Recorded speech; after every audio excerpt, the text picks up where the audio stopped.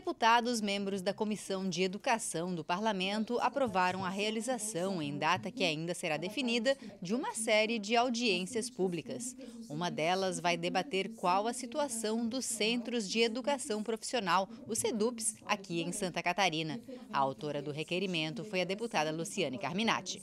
A realidade é bastante difícil. Nós temos a necessidade de mais salas de aula, laboratórios melhores equipados, estrutura para custeio, equipamentos, insumos. A forma de contratação dos profissionais também não pode ser a mesma forma de contratação dos professores da rede regular.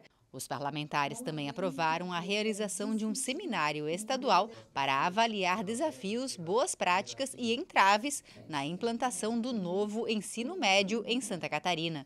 A proponente do requerimento falou sobre os objetivos do evento, cuja data ainda será agendada. O ensino médio ele aumentou a carga horária dos estudantes, passando de 2.400 horas para 3.000 horas em três anos as escolas não dispõem de toda a estrutura para que tenha aula de manhã e de tarde, com essa ampliação da carga horária. Muitos estudantes são alunos trabalhadores que têm que chegar mais tarde, então tem toda essa questão também do mundo do trabalho. E nós temos uma realidade que é a ausência de planejamento coletivo dos professores do novo ensino médio.